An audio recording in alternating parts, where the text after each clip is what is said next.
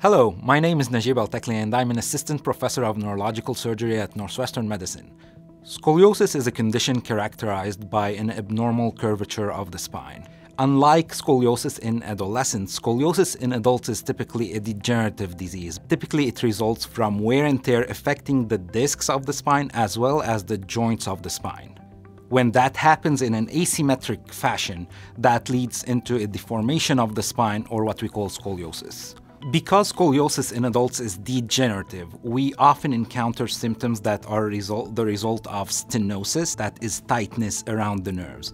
That leads to neurogenic type symptoms where patients might experience pain shooting down their legs or shooting down their buttocks. At the same time, scoliosis results in a mechanical type pain. The head being a little bit off center results in the back muscles needing to work more to just prevent us from falling down. And since those back muscles are spasming all the time, eventually the patients will experience back pain. Typically, when we're evaluating a patient with scoliosis, we obtain a number of different images. The one that's most commonly obtained is a 2D x-ray looking at the patient from the front and from the side. That allows us to determine how much of a curve they have and to what extent they have degeneration and other problems happening in their spine. On this image, you can see the spine is typically supposed to be a straight line when looking at it from the front. However, you can appreciate in this patient that the spine has an abnormal curvature. Like most non-oncologic spine problems, our go-to in the initial line of treatment is conservative treatment options. That means these patients are typically sent for physical therapy, trying to strengthen their core muscles, their back muscles. The patients are also sometimes sent for epidural steroid injections. We only consider surgery when these conservative treatment options stop working or when the curve is rapidly progressive or the patients have neurologic symptoms there are smaller surgeries that can take care of specific problems.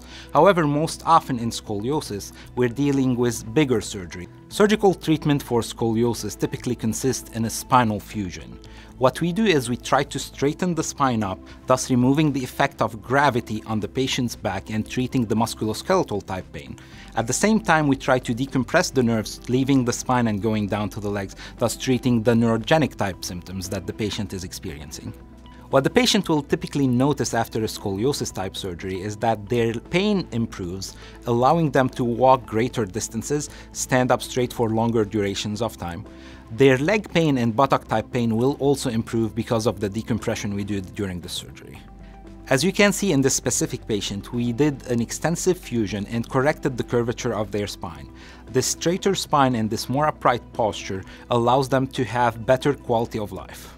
Because surgical options for scoliosis are typically quite extensive in nature, we want to always take into consideration the patient's overall health. That determines whether the patient is a good surgical candidate or not.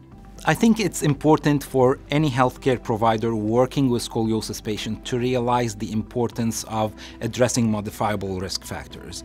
These are key to ensure that the patients, if eventually they need surgery, get the best possible outcome.